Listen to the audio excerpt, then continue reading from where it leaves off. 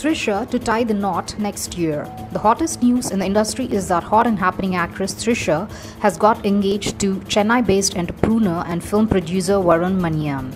The actress had apparently said yes to Varun recently.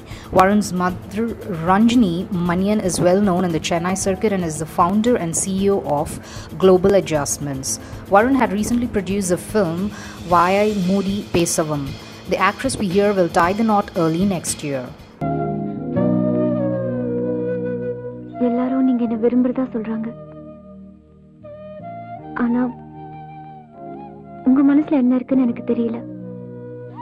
நீங்க என்ன விரும்புறதா இருந்தா இந்த பூவை வச்சுக்கோங்க. எங்க? That's your problem